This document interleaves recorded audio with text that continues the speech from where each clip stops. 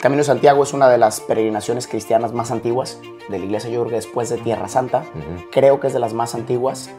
Y la idea pues es que el apóstol Santiago, después de escuchar a Jesús, vayan hasta el fin de la tierra, se lo tomó muy en serio y se fue hasta... Empezó a remar ahí. Le dio...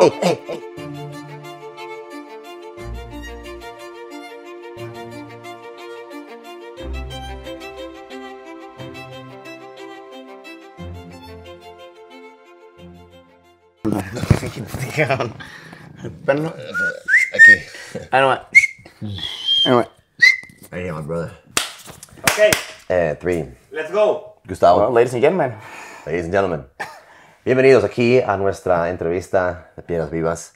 Eh, hemos acabado el camino, seis días, eh, muchos con ampollas, eh, espaldas rotas, y, pero corazones llenos. Y queremos platicarles sobre todo eh, nuestras experiencias, experiencias del grupo. Éramos 54 personas, 55 de hecho. ¿cuándo imaginaste tener 54 personas en el camino? No, vine a vivir una experiencia de Dios, eh, a encontrarme con Él y a escucharlo y a saber qué quiere de mí. Vine, obviamente, a reencontrarme con Dios, a ver todas las señales que me quiere mandar y, a- o sea, buscar una manera más tan- tangible de conectar con Él, ¿no? Y ofrecerlo como, o sea, a través del cuerpo. Siempre pienso que como que el cuerpo también es algo que nos une a Él, o sea, en cuanto a posturas, a como... Sí, o sea, como cómo lo alcanzo a través de mente y cuerpo. Yo me acuerdo en, en, octubre, eh, porque Gus ya había llegado a Mérida, eh, me dijo, Kenny, hay que hacer camino. Y dije, bueno, vámonos, ¿no? Es nuestro primer viaje como Piedras Vivas con jóvenes. Y en Piedras Vivas tenemos una idea muy clara de, de Jesús, que es que Jesús se revela en tu vida caminando. Exacto.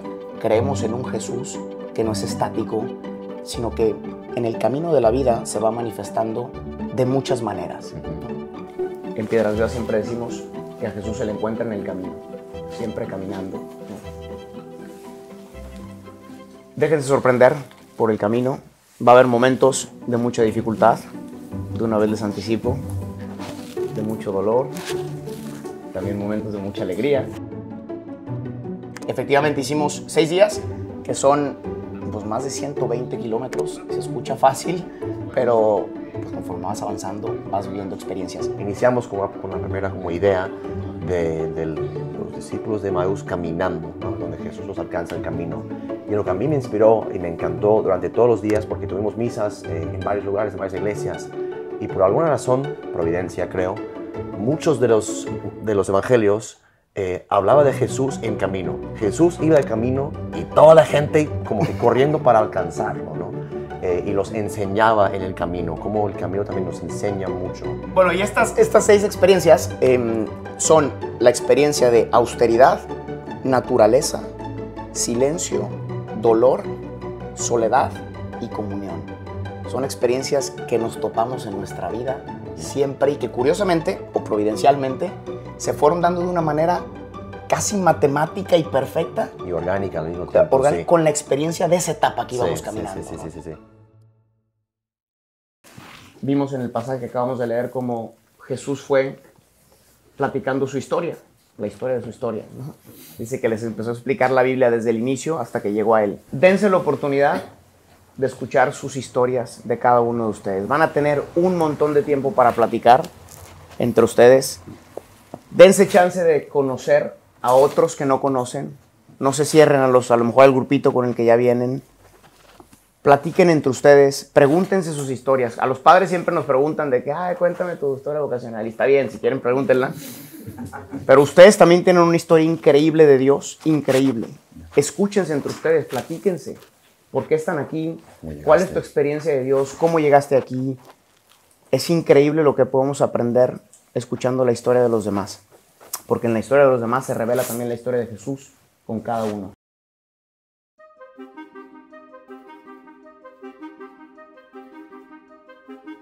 Entonces vamos a empezar con el primer día, ¿no? Llegamos a Tui, tú decías que estábamos ahí pues sin saber qué iba a pasar, lluvia, eh, los jóvenes estaban contentos, Sí. misteriosamente. Felices. Eh, al menos casi todos, eso parecía. y ahí íbamos ahí en la mañana y pues teníamos que soltar la primera meditación, que fue la de discípulos de Maús. Ya. Eh, y me acuerdo muy bien que desde que estábamos preparando el viaje para introducir este concepto de austeridad, nosotros teníamos muy claro que queríamos que los jóvenes llevara cada uno su mochila. Ujú. Porque está también la oportunidad en el camino de que hay camionetitas que llevan las maletas al siguiente Sí, punto sí, y pues caminas sin nada, ¿no? Sí, hay. Ahí. Cosa que permite, de cierta manera, pues que lleves todo lo que quieras y que estés siempre preparado para cualquier tipo de situación. Nosotros teníamos muy claro que no queríamos eso, que queríamos que los jóvenes hicieran la experiencia de vivir con lo que cargan. Empezó la experiencia y ya desde el inicio, pues sintieron el peso de las muchas cosas que llevas para la vida y que poco a poco, conforme el camino avanza, vas descubriendo que hay muchas cosas con las que cargamos en nuestra vida que nos estorban, Exacto. que son un peso para nosotros y que nos podemos ir liberando poco a poco. La, la autoridad, la autoridad también para mí, eh, vi en varios jóvenes mientras caminábamos, eh, también les iba quitando las máscaras.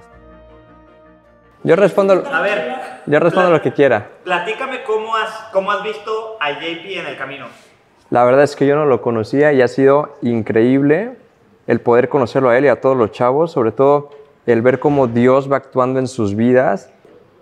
Empiezas a conocer a la persona y entrar en este terreno sagrado de que te comparte y te maravillas, te maravillas y agradeces por el don de su vida. Eh, vas descubriendo lo esencial que hay en ti y ese esencial es más que suficiente Sí. para, para ti y para los demás también. Y no solo es una austeridad, austeridad tipo ayuno, un ayuno espiritual donde dices, ok, yo pensaba que esto era esencial para mí. Yo, yo pensaba que mis máscaras o, o- o mis, o, o cómo me presentaba eh, o cómo me pide que me presente ahí en la sociedad es más importante, pero no. Me voy también deslindando, quitando. Eh, ese versículo de Mateo eh, 12, mira eh, los flores, los flores del Flores del campo, campo. ¿no? Y mi Padre bueno, mi Padre que es bueno, también revista a estos, ¿no? Dios provee, Dios está en la austeridad, vemos cuánto Dios nos da, en vez de tener, tener que estar siempre preocupados de qué necesito yo. Eh, aquí. ¿Qué es lo que más has disfrutado?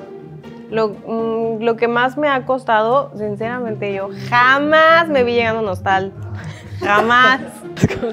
Jamás me vi llegando a un hostal en mi vida, ni de mochilera. Pero cuando supe así como lo de piedras vivas, yo dije como, bueno, es como un colchoncito, porque siento que no estoy como yo sola en la incertidumbre, odio la incertidumbre. Entonces era como, bueno, voy ahí.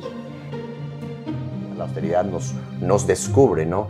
En vez de cubrirnos con cosas externas y, eh, que, son buenas, pero justo, justo que me- a veces entramos en una, dinámica de cubrirnos, de escondernos.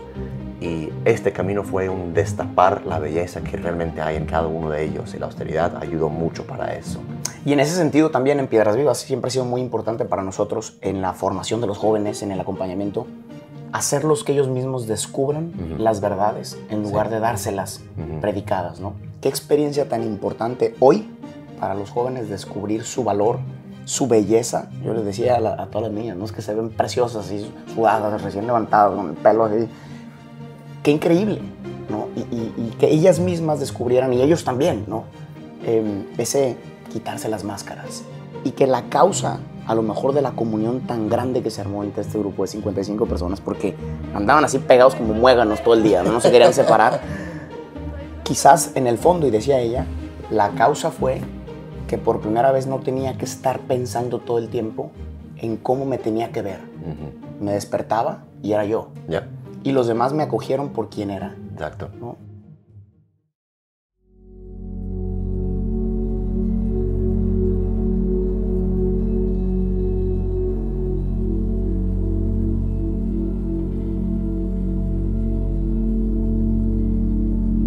Get an amen? My brother. Amen. Cuando- Keep preaching, pastor. Eso es. Vamos al siguiente día, Yes, ¿no? Reverend. Ajá, Yes, that's right. Reverend. Ajá, Yes, that's my shit. yes, Pastor. I'm gonna- gonna be like that. Eh, a mí una persona me dijo que esa persona puede ver a Dios a través de la naturaleza y la verdad es que es algo muy bonito porque yo no lo había experimentado de esa forma. Y me enseñó a, a darme cuenta de detalles que, en donde Dios puede estar presente. Bueno, eh, la segunda experiencia eh, existencial humana eh, tenemos, pues, que se da en el camino es la naturaleza. Gali- Galicia tiene algo muy particular, creo que por el norte de España, mucha lluvia, fresco, es sumamente verde y un cielo cristalino azul, eh, colores intensos, el sol brilla cuando no está lloviendo ah, y, ves como que todo muy marcado, resaltan eh, las líneas de la naturaleza.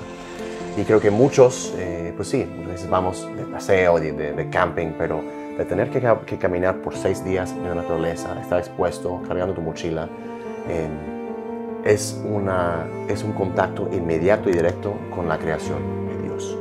Sí, y esto también me hace pensar, obviamente, una de las preguntas a lo mejor más importantes que tienen los jóvenes es ¿dónde encuentro a Dios? Exacto. Y nos lo hacen constantemente, ¿no? Esa dificultad a veces de decir en dónde está Dios.